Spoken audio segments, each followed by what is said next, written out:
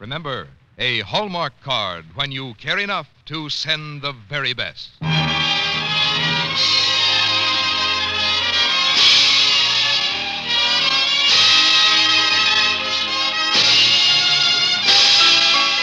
Tonight from Hollywood, the makers of Hallmark greeting cards bring you Lew Ayres in Smilin' Through on the Hallmark Playhouse.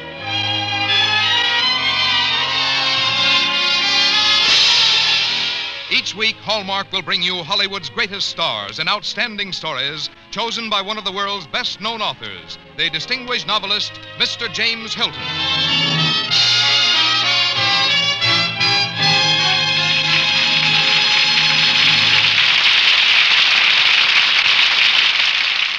Good evening, ladies and gentlemen. This is James Hilton.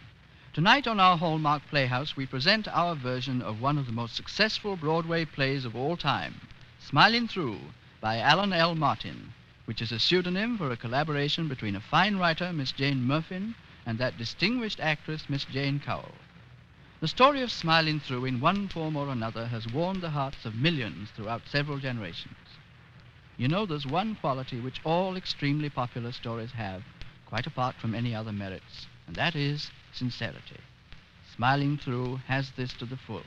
And no story, I believe, could be more appropriate to our thoughts on the festival of St. Valentine which we're approaching. Tonight we are happy to have in the starring role of Smiling Through the celebrated actor Lew Ayres. And now, Frank Goss, have you a few words about Hallmark? There are Hallmark cards for every memorable occasion on your calendar for birthdays, anniversaries, holidays. Yes, for every occasion that calls for remembrance, for a friendly greeting, a word of good cheer, an expression of sympathy.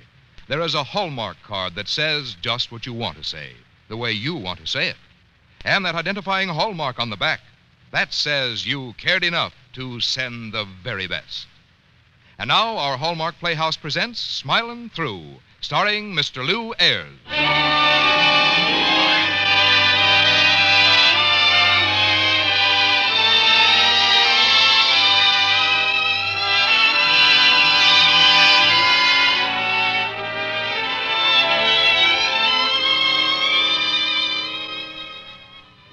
Play, Smiling Through, opens in a beautiful English garden where John Carteret and his next door neighbor and lifelong friend, Dr. Owen Harding, are seated at a small table playing dominoes.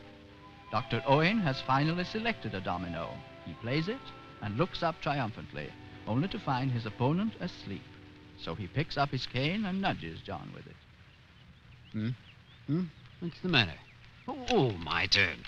This is a devil of an exciting game of dominoes with you going to sleep after every play. Sorry, Owen. Where's Kathleen? She's about someplace.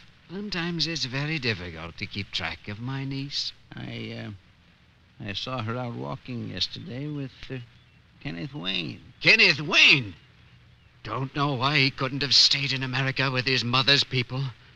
I was finished with the Waynes years ago.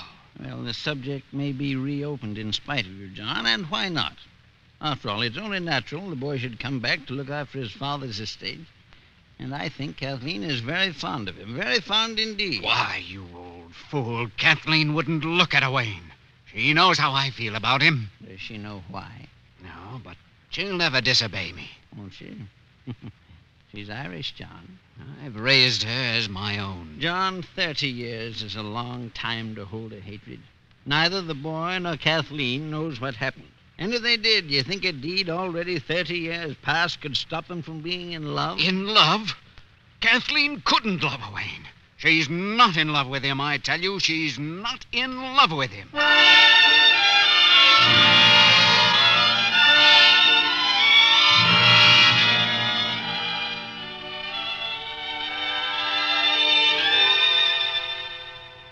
Kathleen, I think you must be the most beautiful girl in the world. Well, Faith, no. If that's what you're thinking, I'll never be the one to disillusion you, Kenneth Wayne. Sun's going down. I I suppose we'd better be walking toward home. Yes, I suppose we should. Oh, Kathleen, I'm going to miss you. Miss me? I'll be leaving Dunstable sometime this week. Oh, I have to go home to America. to get married or something? If I meant to get married, I wouldn't be going away to do it. Dunstable would be good enough for me. Oh, well, of course, there's many a good looking girl in Dunstable. But if you're thinking of proposing to any of them, I'll tell you my idea of a proposal. If you're interested, I'm very interested. well, choosing a suitable sort of romantic place. In a garden or on a country road like this. The young man should say, It has long been my intention to ask a question of you. Then I would say, Dear me, how interesting. What can it be? And then he should say, in a tone which trembled with the force of his feelings, Kathleen, may I call you Kathleen? That's how a proper proposal should start. I see. It. It has long been my intention. Kathleen? Kathleen! Oh, what are you doing out here in the road? Good evening, Mr. Carteret. Kathleen, go in the house. Uncle John. Mr. Wayne, I'm sorry to see me in hospital. But will you please understand clearly, once and for all, that you are not welcome here? Uncle John. Mr. Carteret, I'm in love with Kathleen. I hope someday to ask her to marry me. Wayne, there can be no question of marriage between you and Kathleen, now or ever. You will kindly leave the premises.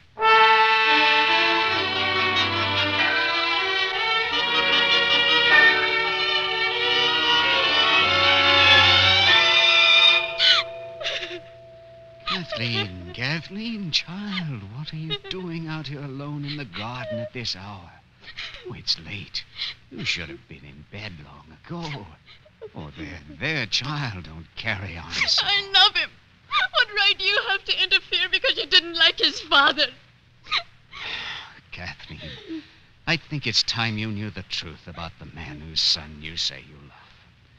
Perhaps I should have told you long ago, but I didn't dream you would ever meet, much less think you could love a Wayne. Am I disturbing something, John? I heard your voices from my porch. No, and I'm glad you came over. I'm going to tell Kathleen what happened in this garden 30 years ago. Kathleen, my dear, 30 years ago, on the 18th of June, this old house was a hubbub of excitement. It, it was a lovely summer night, much like this one, wasn't it, Owen? Yes, the garden was in full bloom. And there were Chinese lanterns around, if I remember correctly. Yes, of course, the Chinese lanterns. It was June 18th, the night Moonyeen and I were to be married. She had arrived from Ireland that very day with her sister Mary. Uh, your mother, my dear. Oh, Uncle John. I had a sentimental wish to be married in the home of my father and my father's father. Moon indulged me in it. I remember the long twilight fading into darkness and the old house lit by a thousand candles. There were snatches of laughter, gay chatter floating out into the garden. As someone was playing a harp. And the melody was one that I will carry in my heart forever. It was a song she had learned in Ireland. A love song. Oh, clearly it all comes back. There was an hour yet before the ceremony, and suddenly there was a violent ring at the gate bell. In the name of all that's holy, stop jangling that bell. I'm coming. Oh, oh, it's you, Owen. What the deuce are you doing with this gate locked when there's a wedding going on? That's to keep out unwelcome guests. Why haven't you got your tie tied? I, I couldn't manage it.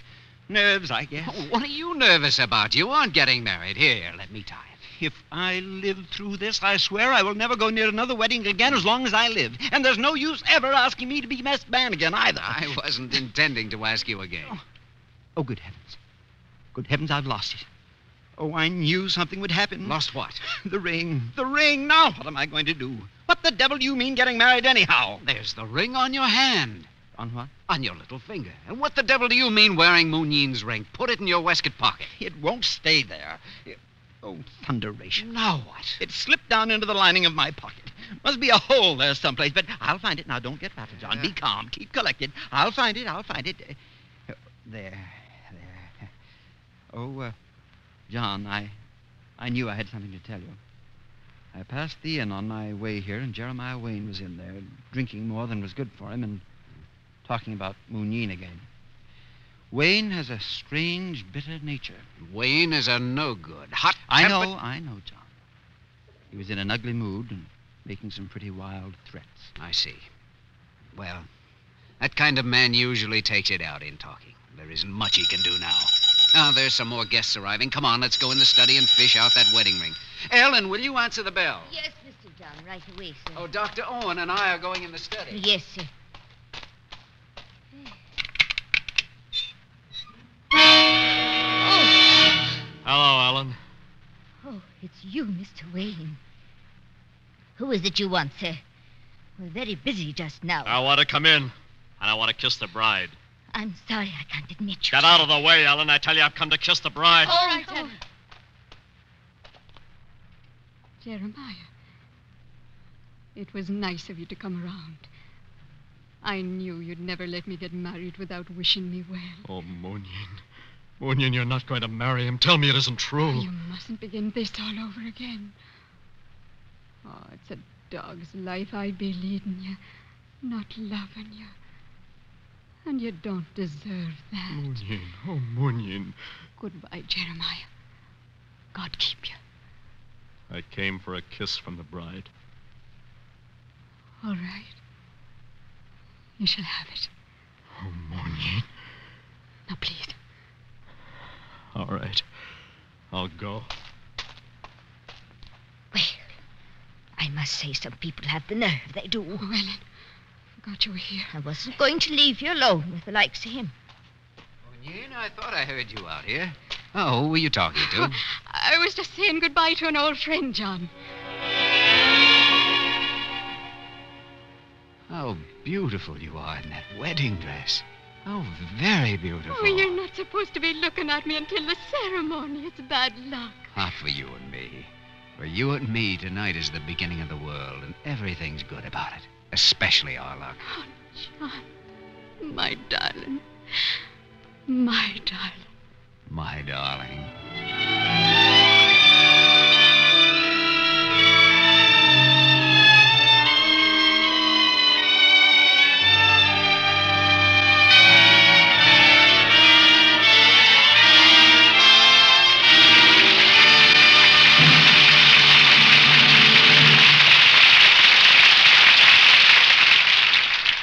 In a moment, James Hilton will return to present the second act of Smilin' Through, starring Mr. Lew Ayres. On a winter's day in the year 1415, a young man sits in the Tower of London, a prisoner in a foreign land. This is Charles, Duke of Orleans, nobleman, poet, a commander of the French forces defeated by the English at Agincourt. His thoughts are now of home, and he imagines how pleased his Duchess will be with what he is about to send her. What art has gone into its creation, what skill into the lettering of the verse. His verse. Charles, Duke of Orleans, nods with approval, signals to a messenger, and to his lady far away he sends a valentine. A valentine that is preserved to this day in the British Museum. Valentines play an even more important part in people's lives now than in the long ago. Not only do we send a valentine to the one person who is dearest to us, we like to send these reminders of our affection to all those we care for. And that is why, at the friendly store where Hallmark greeting cards are sold, you find so many different Hallmark Valentines. Valentines that say just what you want to say, the way you want to say it, to each of your friends and loved ones. And on the back of every one is the hallmark that says you cared enough to send the very best. Now, back to James Hilton and the second act of Smilin' Through, starring Mr. Lew Ayres.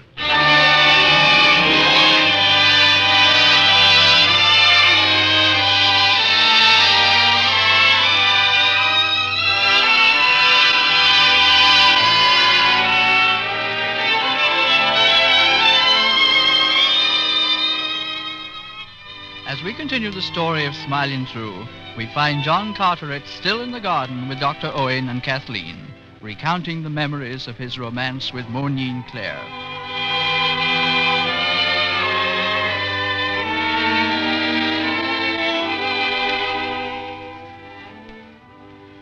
I.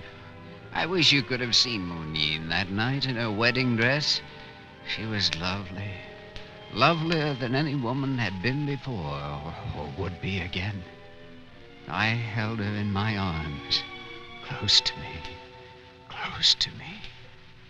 Oh, John, hold me close. Don't let me go. I feel safe in your arms. I'm so happy, so happy. What are you thinking? Hmm? About the day we met. Oh.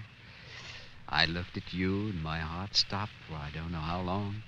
And I said to myself, there she is. There's the girl I've been waiting for. I'd know her anywhere. What did you think?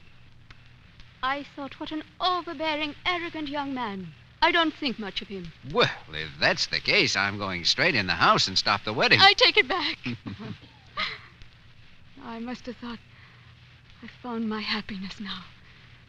Because that's what I've been thinking ever since. Darling, what did we talk about anyhow? Do you remember? hmm I said, I beg your pardon, but does Jessica Wayne live here? Oh, when I said, no, she lives about a mile up the road, and you said. I said- No, no, no, don't tell me. I remember now. You said, oh, dear, I've come all the way from Ballyshannon to see her, and there was no one at the station to meet me, and I've walked all the way here. I didn't say it like that. Just exactly, and you puffed a little. Uh, it was hot.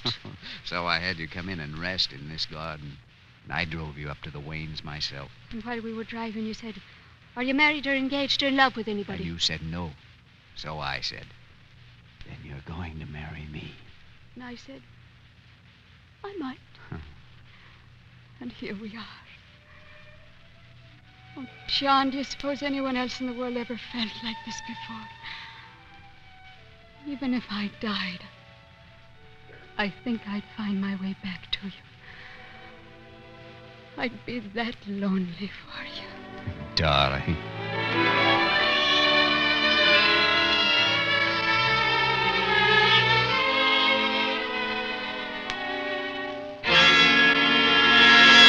Well, isn't this a pretty picture? Jeremiah! Wayne, what do you want? Take your hands off her. Oh. Jeremiah, you said you'd go. I couldn't, Moonyeen. I've been out here all the time. I couldn't stand listening to any more. Go in the house, Moonyeen. I want to talk to Carteret alone. Jeremiah, you promised Get her me- away, will you, Carteret?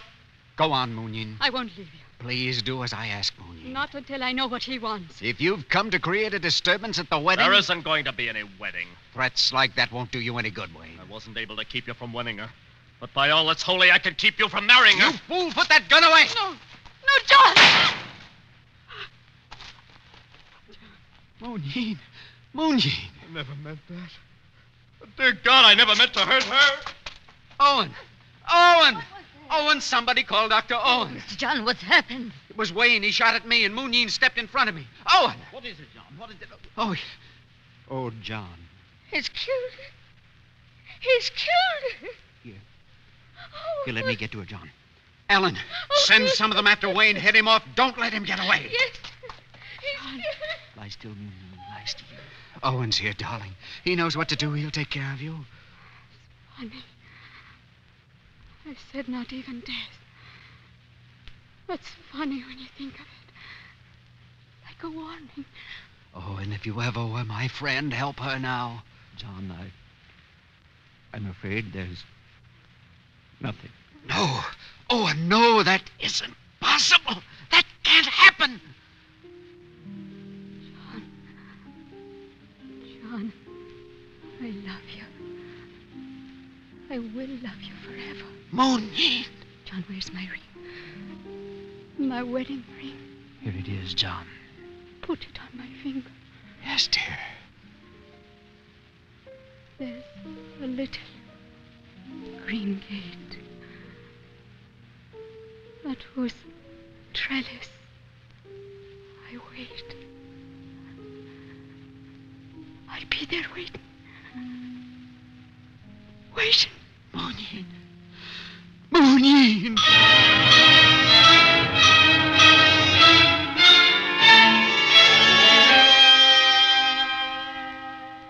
A melody on a harp, memory of voices and Chinese lanterns.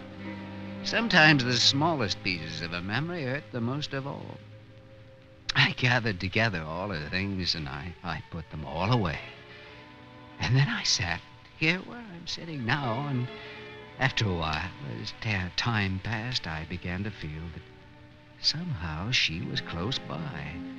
And when you came to me, Kathleen, I felt that you were a gift from her.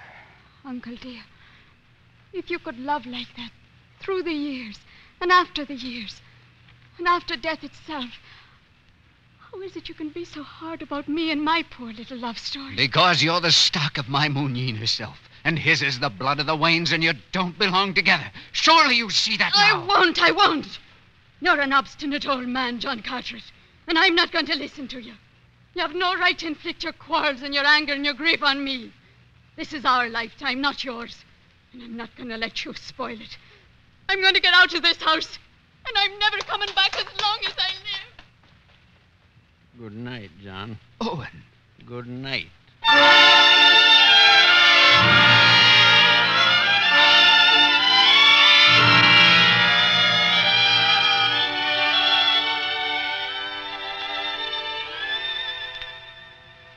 I thought I'd find you still out here in the garden. What are you going to do? Sit here until pneumonia sets in? I thought you went home angry. Well, I thought better of it. I've Been sitting here trying to think things out. Owen, am I an obstinate old man? Yes. Things change, people change. Maybe I have lived too much in the past. Would you, would you know where to find Jeremiah Wayne's son? Why, I, I suppose at the Wayne house. Will you come with me? I want to talk to him. Kathleen said I had no right to inflict my quarrels and grief on them, Owen. I, I think she's right.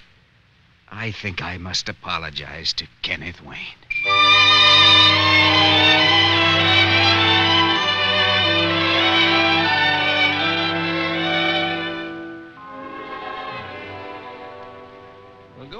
Go on, Ken. Speak your piece. Go on, boy. If you'd both keep still, I think we could manage all right. Go on, Ken. Uh, let me see now. How to begin? It has long been my intention. Oh, oh yes. Darling, it, it has long been my intention to ask a question of you. Dear me, how interesting. What can it be? Kathleen. May I call you Kathleen? Hey, that's all she taught me. Now what do I say? Well, what does he say, John? You're the only one around here that's ever proposed to Oh, anyone. he says, Kathleen, I'm not half worthy of you, but I'll try very hard to make you happy. I will try very hard, Kathleen. And then he says, I think I can carry on from here on my own, Mr. Carteret. Kathleen, my darling, will you marry me? How sudden. Sudden? Sudden? Sudden. Sudden? But even though it is sudden, seeing as how that's the way you feel about things, it gives me much pleasure to accept your offer. Now we've gotten someplace.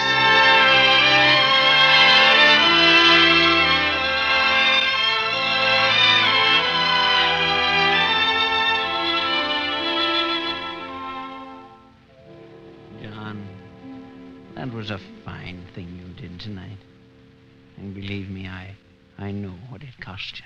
We'll have the wedding here in this garden. It will wipe out the stain. You care for a game of dominoes? No, no, I'm tired. Think I'll just sit here for a little while, then I'll turn in. Good night, Owen. Good night, John. I'll uh, see you tomorrow.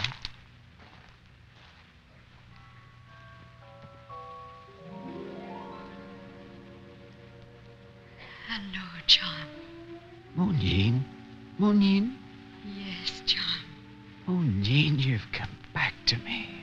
I've come back for you. We're together again. Together? Yes. Don't you see me, John? But I. Yes, yes, why, Moonyeen, you're in your wedding dress. Of course. Just as you were that night.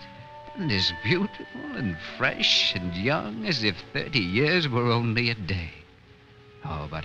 But I'm old. Old and very tired. Old? Whatever in the world are you talking about? You're straight and tall as a poplar. You see me like that? I see you like that. It's a miracle. Love is a miracle. Oh, Come, my darling. Let me take your arm. We'll walk through the gate together. But I, I don't understand. Look, there in the chair where you were sitting. Well, I'm still there. Yes, Then this is. This is what they call dying. yes, John. I always wondered what there would be at the end of the road for me. I always prayed that it would be you. Come, my darling. Let me take your arm. For this is how our love story ends and begins.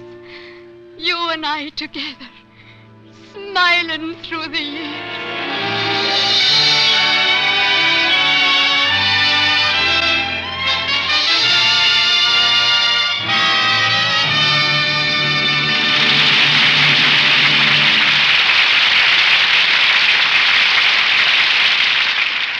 James Hilton and Lew Ayres will return in a moment.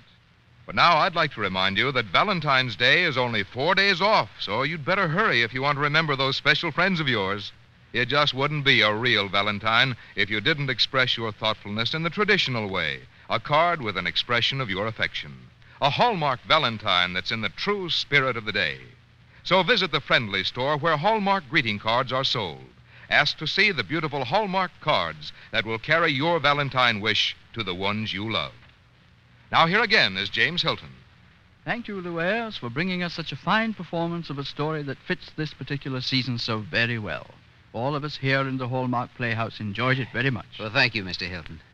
Smiling Through is one of those wonderful love stories that seem to get better each time they're told. I don't suppose that's very strange, since love itself seems to have a very long record of success. That's true. It seems to go on getting more and more popular. I think you chose very well in selecting Smiling Through for your Valentine story, and I enjoyed doing it. Wouldn't it be a nice thing to contemplate if we could look forward to a time when when love would completely conquer hate and misunderstanding as it did in tonight's story? Well, it's never too late to start, you know. That's true. The season is at hand. Valentine's Day certainly gives every one of us an opportunity to express our affections in some special manner without without being self-conscious about it. To me, that seems to be a, a pretty good idea. All of us feel a particular fondness for many who are close to us, but somehow we never get around to letting them know it. Then Valentine's Day comes around, and we have an excuse for overcoming our natural shyness, and we can dare to express ourselves a little more directly. And I think it's a very fine institution. Mr. Hilton, I imagine anyone who feels that he wants to send a, a message of affection to someone he knows could find a, a Hallmark card that would express the proper sentiments, couldn't he? I'm certain he could. Then I'd like to suggest that we make a special point of trying to make people happy by spreading cheer and affection around, and the idea may grow. Thank you for asking me here tonight. Well, yours was a pretty good idea, Louise, and we're happy that you were with us this evening. And now about next Oh, Thursday. oh, let me tell about that. All right. Next Thursday, the Hallmark Playhouse will present your own fine story, Random Harvest, starring that charming actress, Joan Fontaine. Well, thank you, Louise. And the Thursday after that, we'll present Edna Ferber's famous story, So Big, starring Virginia Bruce. And the following Thursday, Berkeley Square, starring Van Heflin. Our Hallmark Playhouse is every Thursday. Our director producer is Dee Engelbach. Our music is composed and conducted by Lynn Murray. And our script tonight was written for radio by Jean Holloway. So until next Thursday, then, this is James Hilton saying good night. Look for Hallmark cards that are sold only in stores that have been carefully selected to give you expert and friendly service. Remember Hallmark cards when you care enough to send the very best.